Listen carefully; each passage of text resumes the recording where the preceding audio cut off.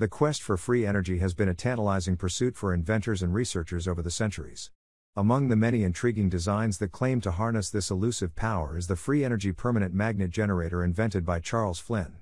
This device ingeniously integrates the functions of both an induction motor and a generator into a single unit. Through a clever arrangement of coils and magnets, Flynn's invention purportedly harnesses the energy of collapsing magnetic fields to generate free energy. The Charles Flynn Generator, an overview. Charles Flynn's generator, sometimes referred to as the Charles Flynn motor, operates on the principle of magnetic induction. The core of the device consists of a stator equipped with coils and a rotor embedded with permanent magnets. When the rotor spins, it induces a voltage in the stator coils due to the changing magnetic fields. This process is common in many electric generators, however, Flynn's design includes a crucial innovation the utilization of the collapsing magnetic field when the circuit is broken. When the circuit is interrupted, the magnetic field around the coil collapses, generating a high voltage spike. Flynn's device captures this transient voltage, which is then directed to charge a battery bank. The stored energy can be converted to regular AC power through an inverter, making it usable for household or industrial applications. Exploiting transient voltages and back EMF. One of the key features of Flynn's generator is its ability to exploit transient voltages and back electromotive force, EMF. When the circuit in an electromagnetic system is suddenly opened, the collapsing magnetic field can induce a significant voltage spike. This phenomenon, often seen as a nuisance in traditional electrical systems, is harnessed in Flynn's design to generate useful energy. By carefully timing the interruption of the circuit, Flynn's generator maximizes the energy extracted from the collapsing magnetic field. This method effectively sidesteps the Lenz law, which normally opposes the motion that creates the magnetic field, allowing for the capture of high energy pulses. The role of ether physics and cold electricity.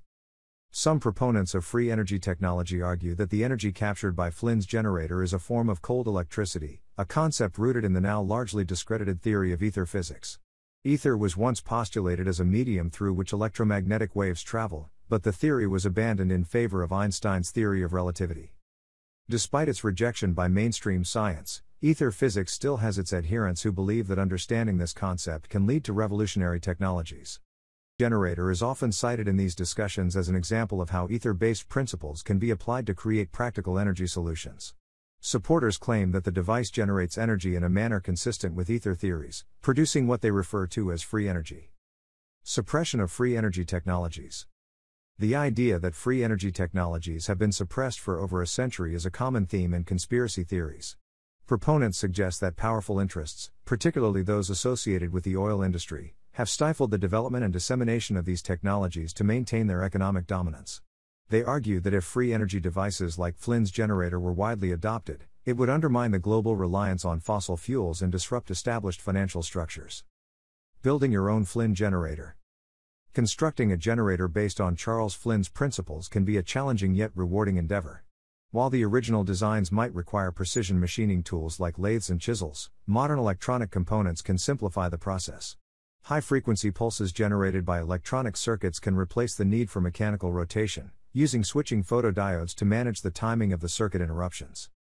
Patent US 5, 455474, granted on October 3, 1995, provides detailed information on Flynn's design.